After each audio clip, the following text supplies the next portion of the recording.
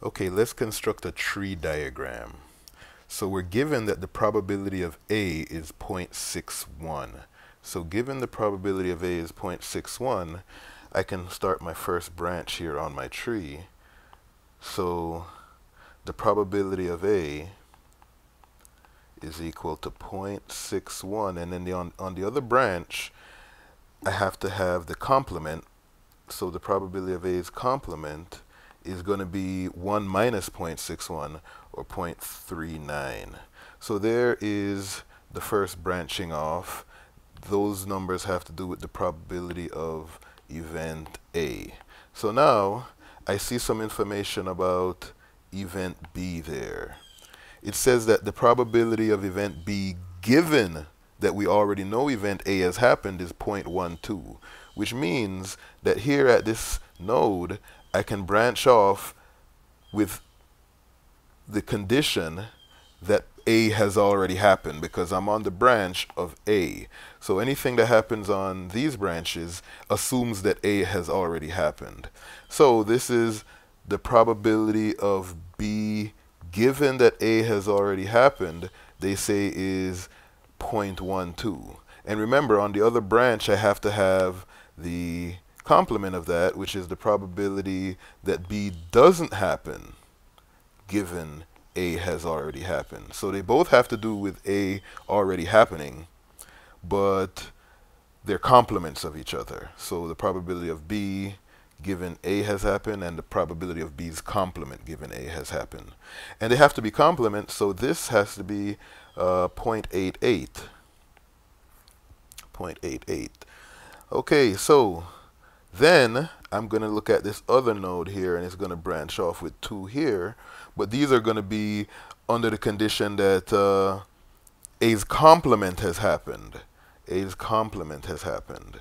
So the probability of B given that A's complement has happened is given as 0.75 there equals 0.75. And then last, the complement of that would be the probability that B doesn't happen, the probability of B complement. But remember, we're still on the branch where A never happened, A's complement. And those have to be complements of each other. So this one has to be 0.75.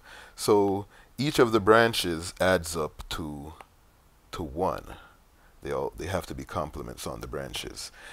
All right, now I'm ready to find my joint probabilities now. So for my joint probabilities, I'm just going to find these products. So first, the probability of A and B. The was going to use the intersection symbol, but let me just go ahead and write it. A and B. The probability of A and B has to be the product of these two. So this is the probability of A and then multiplied by the probability of B given that A has already happened. So that's 0.61 times 0.12, which is 0.0732. So that's the joint probability of A and B. The next joint probability is going to be the probability of A and B's complement. And that's going to be the this product here. It's the probability of A times the probability of B's complement given that A has already occurred, 0.88 times 0.61 is 0.5368. Then next, I'm going to find the joint probability of uh, B and A's complement. So that's going to be the probability of A's complement times the probability of B given A's com complement has already occurred. So that's 0.39 times 0.75, which is 0.2925. And then the last one, the joint probability of B's complement and A's complement. And the joint probability there is going to be, oops, I put 0.75 here, that was a mistake the complement, when I said this has to add up to 1, that has to be 0.25. I'm glad I caught that. So this should have been 0.75, and then the complement of that is 0.25, because like I said, those have to add up to 1. All right, So that's 0.25 times 0.39, and 0.25 times 0.39 is 0.0975. So there I have all my joint probabilities. What I'm being asked here is to find the probability of A given B. So I'm being asked to find the probability of A given B. But all my probabilities here are of the inverses. B comes first, and then you're given A. So we're finding the probability of B given something about A already occurring, and they want me to find this inverted probability. Well, it just so happens that with this tree diagram, I have enough to do it, because I just need the probability of A and B to be divided by the probability of B which those are all pieces of information I can get from here. The probability of A and B I already have. Probability of A and B is 0.0732. So that's 0.0732. The one that I need is the probability of B. But what I remember is that the probability of B would be equal to the probability of B and A's complement plus the probability of B and A. Because this is the probability of B if A doesn't occur. This is the probability of B if A does occur, and A either occurs or does not occur. So if I add those together, I will get the probability of B, the total probability of B. Let me see.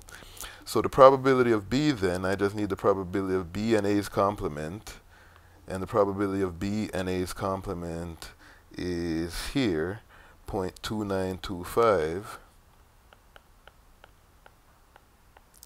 plus the probability of B and A which is the same as the probability of A and B 0.0732 so basically I'm going to do this addition and then divide 0.0732 by that number. So that's uh, 0.0732 plus 0.2925, which is 0.3657. And when I do this division, it'll give me the answer to the question here. So that's 0.0732 divided by 0.36 0.57, which gives me a final answer of rounded to four decimal places, 0.2002. So that would be the answer. The probability of A given B is 0.2002. And that's how you use a tree diagram to do a Bayes problem.